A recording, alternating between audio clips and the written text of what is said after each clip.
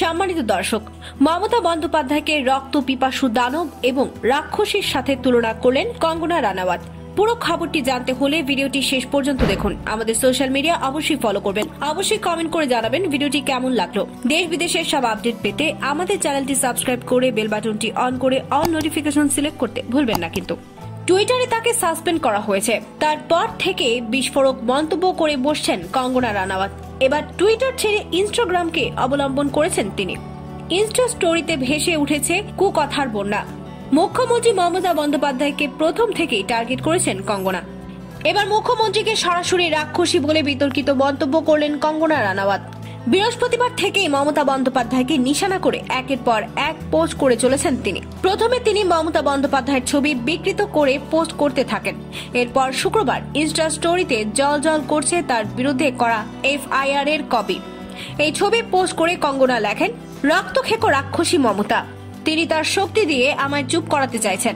কঙ্গনার অভিযোগ, ভোট পরবর্তী হিংসায় বর্তমানে বাংলায় প্রতিদিন মৃত্যু হচ্ছে তৃণমূলের বিরোধী দলের কর্মীদের।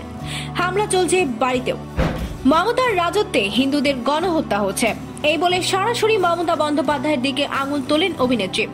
মুখ্যমন্ত্রীকে আবারও আক্রমণ করার সর্বত্র নিন্দার ঝড় উঠেছে।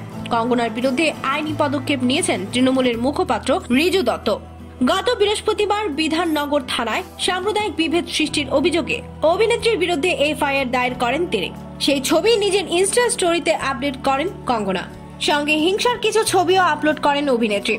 এছাড়া এদিন গান্ধী মূর্তির পাদদেশে হিংসার প্রতিবাদে বিজেপির রাজ্যসভার সাংসদ রূপা গাঙ্গুলি ও বিজেপির নবনির্বাচিত বিধায়ক অগ্নিমিত্রা পালকে আটক করা হয়। করোনাবিধি লঙ্ঘন করার অপরাধে আটক করা হয় তাদের। এর বিরুদ্ধেও গর্জে ওঠেন কঙ্গনা। কঙ্গনার এই ধরনের পোস্ট পশ্চিমবঙ্গের সাম্প্রদায়িক অশান্তি বাড়িয়ে দিতে পারে। প্রতিদিন অনুষ্ঠানে গিয়ে মমতা বন্দ্যোপাধ্যায়ের আর্জি শান্তি বজায় রাখা। তার মধ্যে কঙ্গনার এই ধরনের মন্তব্য আরও আগুনে ঘি ঢালার মতোই ঘটনা। মত তৃণমূলের।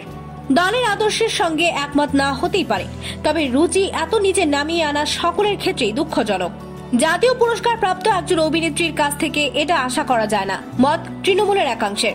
সম্মানিত দর্শক, মমতাকে নিয়ে কঙ্কনার এমন মন্তব্য আপনারা কীভাবে নিচ্ছেন, কমেন্ট করে জানান আমাদেরকে।